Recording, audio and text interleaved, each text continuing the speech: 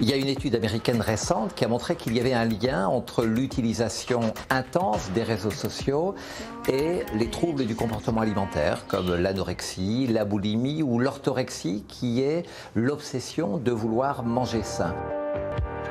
Ce que les auteurs ont montré, c'est que la consultation de réseaux sociaux comme Facebook, Instagram, Snapchat, en fait, générait une obsession de la minceur ou du vouloir manger sain.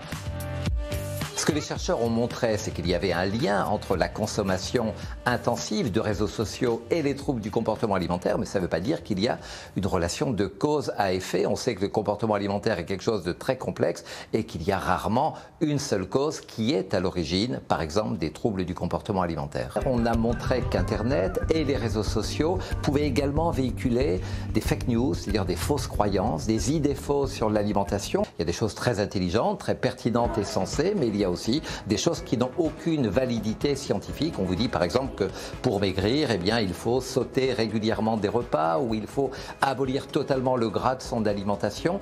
La question, c'est de savoir comment apprendre aux personnes à avoir un esprit critique vis-à-vis -vis des informations qu'ils vont trouver sur Internet et les réseaux sociaux.